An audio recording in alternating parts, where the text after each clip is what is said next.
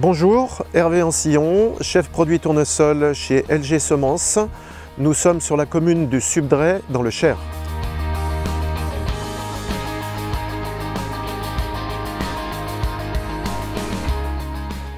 Après avoir bien installé et bien conduit votre tournesol, nous allons vous donner les quatre leviers pour récolter au bon stade, sécuriser votre performance et votre rendement.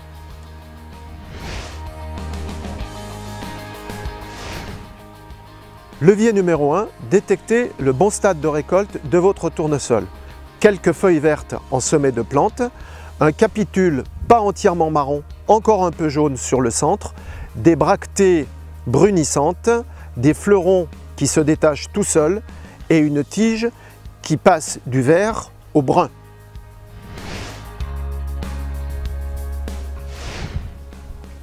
Levier numéro 2, bien identifier la maturité moyenne de sa parcelle.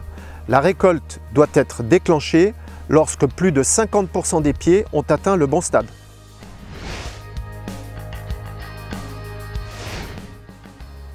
Levier numéro 3, éviter la surmaturité pour limiter les dégâts d'oiseaux, les risques d'égrenage, la perte physiologique du poids du grain et le développement des maladies de fin de cycle. Éviter la surmaturité, c'est 2 à 5 quintaux de sécuriser.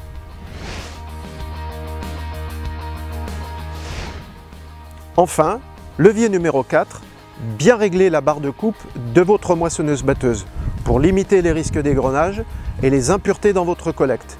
Un bon réglage, c'est 1 à 2 quintaux de sécuriser et s'affranchir des risques de pénalité.